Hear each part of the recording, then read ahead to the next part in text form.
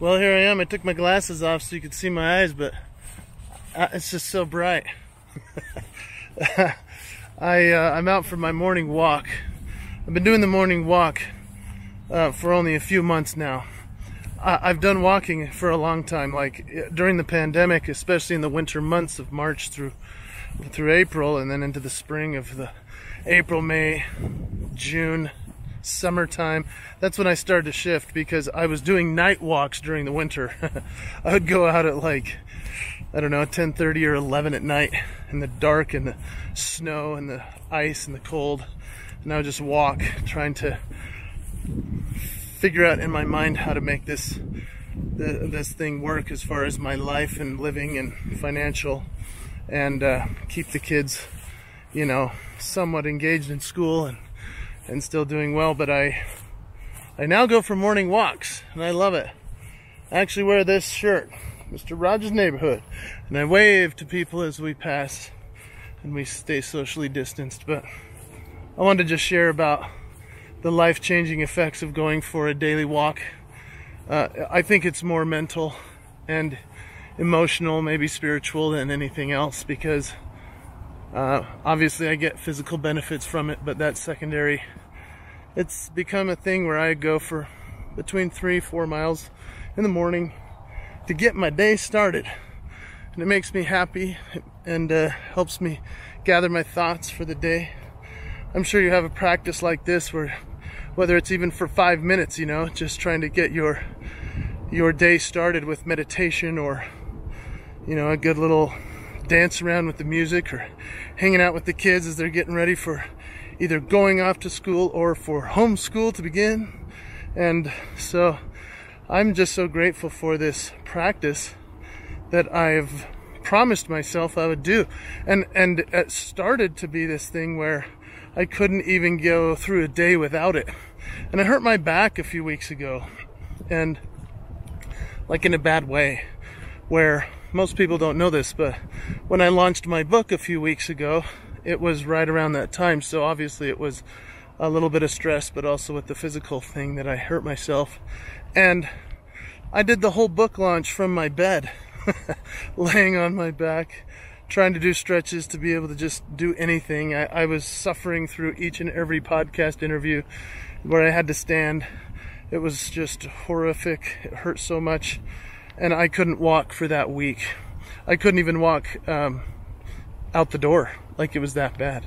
And I really miss these walks, you know, these daily walks are very powerful for me.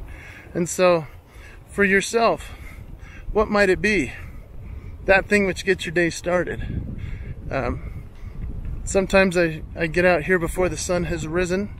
Other times, a little bit later. Today, I woke up quite early and read the good book and then I, I woke up the children one by one for their different times for school. And then I took my youngest boy out to the playground where he wanted to show me some of the cool tricks he's learned, which he's so talented and athletic. It was awesome. And now I'm on my late morning walk with the sun right in my face and eyes. So I'm still keeping that promise, even though I have a lot of appointments today as I look at my phone and my clock. Yeah, I've got to get back but I'm grateful for this practice. What's a practice you've put into play that you've maybe started to implement? Because I know I used to go do a workout or a walk before the pandemic. It was very inconsistent. Now it's become a daily practice. And I know that inconsistency is our is our worst enemy. and so if we can be consistent in our great commitments, in our promises, then our lives will change, and mine has with this practice. So, how do I do it? Well, I uh, I kind of at this point I don't even decide to do it. I just do it because it's become intrinsically a part of what makes the day good. But it starts with putting your shoes on. I know that sounds silly, but if you wake up and you put your shoes on, uh, obviously with your walking outfit or your workout, if you put those shoes on, you're most likely going to go. The other important thing is not to allow the emails and the other to-do lists of everyone else to get too bogged down in your queue that you can't go and leave Uh, sometimes before the walk, I have to check the emails just to make sure I don't have a fire to put out, and then I go.